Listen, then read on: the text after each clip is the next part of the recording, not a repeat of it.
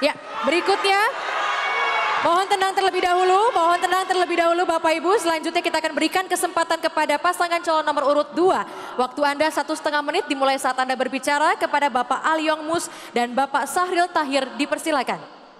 Baik, terima kasih. Provinsi Maluku Utara adalah provinsi kepulauan.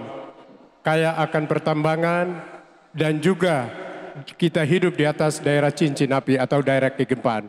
Lainnya itu pembangunan ke depan kami pastikan akan mempertimbangkan dengan aspek-aspek lingkungan hidup dan juga tetap mendorong pertambangan akan maju di Provinsi Maluku Utara sebagai sektor yang paling mendukung pertumbuhan ekonomi.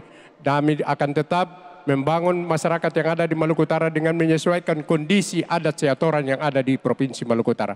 Kondisi kehidupan sosial sesuai dengan masyarakat yang ada di Provinsi Maluku Utara.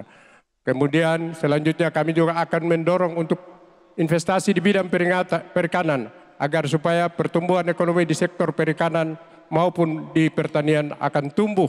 Kami tetap tegak lurus dengan program Prabowo Gibran, Presiden dan Wakil Presiden Republik Indonesia.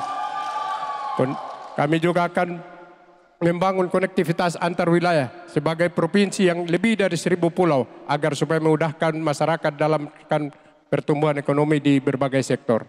Kami juga akan membangun sarana dan prasarana, prasarana dan prasarana sesuai dengan daerah kita yaitu daerah kegempaan atau rumah tahan gempa. Itulah dari kami pasangan AMSA tanggal 27 coblos nomor 2. Terima kasih. Assalamualaikum.